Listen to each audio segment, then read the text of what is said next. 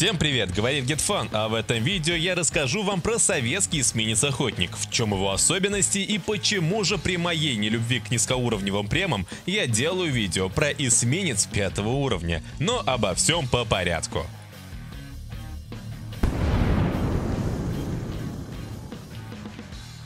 Начнем с того, что корабль пока проходит финальные стадии тестирования, потому его ТТХ еще могут измениться, и потому конкретных цифр сейчас я не буду называть. Но вот про особенности и сравнения поведаю в полной мере.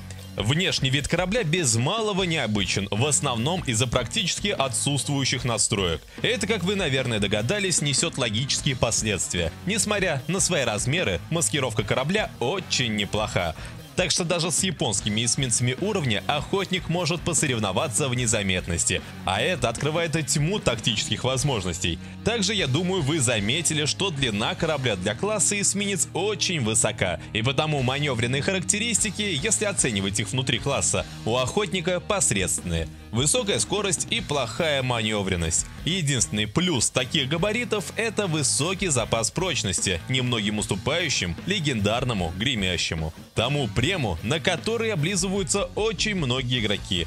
И вот если говорить о главном для артесминца огневой мощи, то от сравнения гремящего и охотника никуда не деться. Вооружение обоих кораблей установлены 130 миллиметровые орудия, но, увы, разные. Гневный, как и гремящий, оснащены Б-13, скорострельность которых внушает страх. А вот охотник оснащен 130 миллиметровками 55 Б-7, чья огневая мощь значительно ниже за счет меньшей скорострельности. Но этот недостаток частично скрывает количество стволов, достигающих аж целых 7 штук. А это я вам скажу достаточно много, потому вес залпа эсминца может без труда снять при успешном попадании до половины боеспособности одноклассника. И это я вам скажу делается регулярно, ведь право первого выстрела обычно за охотником. Спасибо маскировке. Хотя, если численный перевес за противником, то малая скорострельность не позволит выиграть сражение. Но в целом, все остальные характеристики стволов схожи, потому лично меня огневая мощь устраивает. Главное заранее поворачивать башни в нужное направление. Во время боя менять атакующий борт очень долго и сложно. Скорость разворота небольшая.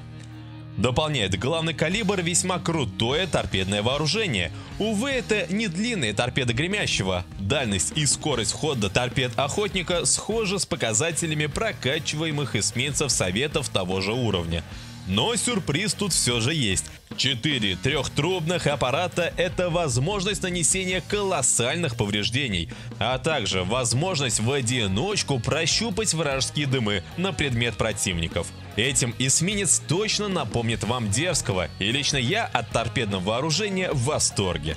В общем, на данном этапе эсминец получается очень бодрым и мощным. Список минусов, конечно, внушительный, но в плане геймплея он дает нечто новое. Эдакая смесь японцев и советов. То есть подходим максимально близко и даже не светимся. Принимаем решение насчет возможности боя и после этого завязывается обычно короткое, но очень адреналиновое сражение. Ведь дистанция боя мала.